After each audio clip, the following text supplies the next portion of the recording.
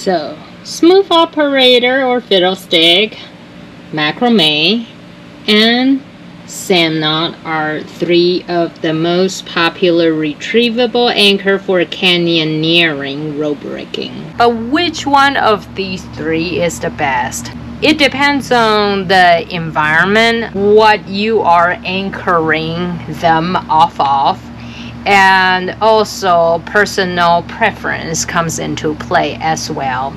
Recently had a discussion with a friend. Uh, he didn't want to use smooth operator because he said it is much easier to accidentally pull on the rope. Uh, the whole rope comes down when somebody's rappelling on it. So that got me curious and now I want to know whether one retrievable anchor is harder to accidentally pull out than the other while somebody's rappelling on it and how much force is required to pull the rope out while somebody is rappelling on it. So I hit up the retired scientist Harlan the Mountaineer to help me run some tests and here are the results for you.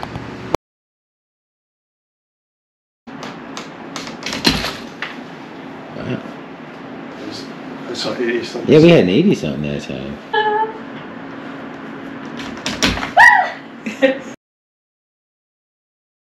It was over 100.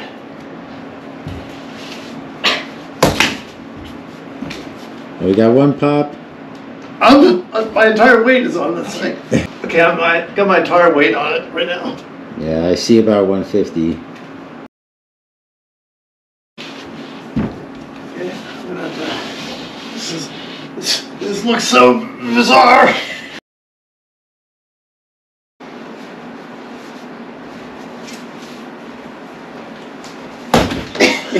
Dude. something. Yeah.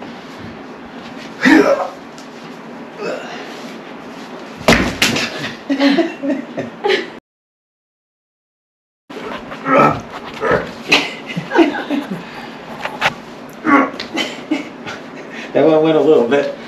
Oh, it's your sheep then.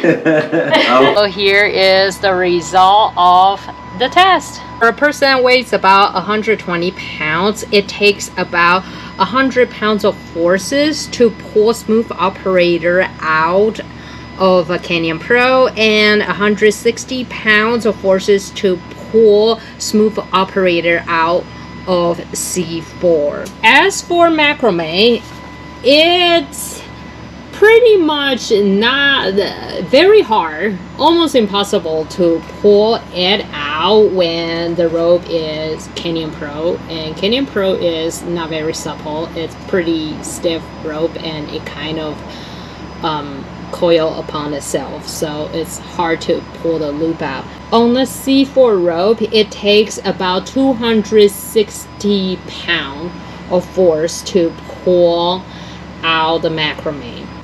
As for the sand knot, it is just not possible to accidentally pull out the rope. Oh, so here you are. Um, these are the number. You can interpret them however you want. I am not telling you if one releasable anchor is better than the other because that is not the case.